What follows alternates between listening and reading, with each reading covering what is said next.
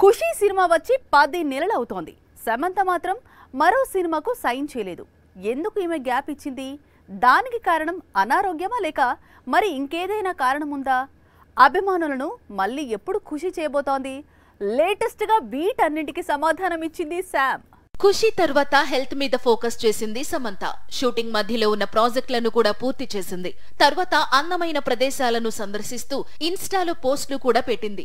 జిమ్లో కసరత్తులు చేస్తూ వీడియోలను కూడా రిలీజ్ చేసింది. వెండితెర మీద కనిపించకపోయినా కూడా యాడ్ షూటింగ్లలో మాత్రం పాల్గొంది శామ్ అయితే ఎట్టకేలకు అభిమానులు ఆశించింది అందివ్వబోతోంది.